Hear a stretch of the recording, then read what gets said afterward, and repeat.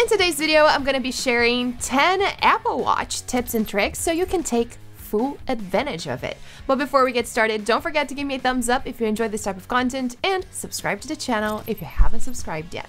Now, a quick deal reminder the Apple Watch Series 7 is currently on sale on Amazon. Make sure to check out the link down below in the description and in the comment section. So, starting off, many of you don't know, but you can get rid of the red notification thought. I'm not sure about you, but this kind of bothers me a little bit. So, make sure you do this. Go to Settings, Notifications, and disable notifications indicator and that's it. It disappears. Now, if by any chance you are at the movies on theater mode and you want to discreetly check the time, you can do this by simply scrolling up or down using the crown. So scroll up, check the time, and quickly scroll down again. Also, if you're not sure how to enable or disable theater mode, the only thing you need to do is swipe up to go to the control center and press on this icon right here. So now theater mode is disabled. Now, if you've been scrolling down for a while and you want to go back to the top of the page quickly, you can simply tap on the top. And that's it. Number four, if it's difficult for you to read the text on your Apple Watch, you can enable bold text. The only thing you need to do is go to Settings, Accessibility, then enable bold text. And if by any chance you always have a hard time finding your applications, or if you simply don't like the grid view, you can quickly switch from grid to list view on your watch. The only thing you need to do is press on settings, press on app view, and switch to list view. Now, if you go to the application page, all of them will be showing up in a form of list. If you want to go back to grid view, simply do the same thing again. So settings, grid view, and you're back. Number six, if you double press on the crown, you can switch between last open apps. So double press, we went back to settings, and double press again, we went back to the workout app. Now, I'm pretty sure that the majority of you love to customize your watch, right? So I'm going to show you how I customize my watch faces in case you're having a hard time. The only thing you need to do is press and hold on the display and press on Edit.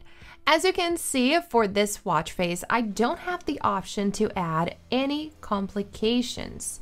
However, if I scroll down, it will switch to this circular mode, and if I swipe left, it will show me the complications options. Then the only thing that I need to do is press on each corner and choose the complication that I would like to add. I really like to keep the battery of my watch showing up. So let's find the battery right here. Then I'm gonna switch this one to activity. I like to have the timer option and I also like to check the weather. So as soon as you're done, the only thing you need to do is press on the crown. Then press again and there you have it. Number eight, if by any chance you want to delete an application, there are two ways for you to do this. The first one is in case you, you're using the grid view. The only thing you need to do is press and hold on the top of any application and press on Edit Apps. Now you will see this X sign showing on the left side of the app and then you can simply press on it and then press on Delete App. And if you're using List View, you can also delete your applications. So simply do the same thing, press and hold on the screen, Edit Apps, and press on the X. Now, I'm pretty sure that the majority of you already know that if you swipe up, go to the control center, and press on this icon right here, your iPhone will reproduce a sound. So if by any chance you're having a hard time finding it, this will help you. But what you may not know is that you can press and hold to ping your iPhone and turn on the flashlight. So press and hold. And this may help you find your iPhone in the dark, for example. And last but not least, number 10. If you like to use the Mickey or Minnie watch face, you can tap on it and it'll tell you the time. It's 3:42. Good afternoon. Make sure you have the silent mode disabled in order for this feature to work. But also, if you're not using a Mickey or Minnie watch face, if you're using a regular one, you can tap with two fingers for Siri to do the same thing. 1543. And these were 10 Apple Watch tips and tricks. If you enjoyed the video, don't forget to give me a thumbs up and subscribe to the channel if you haven't subscribed yet.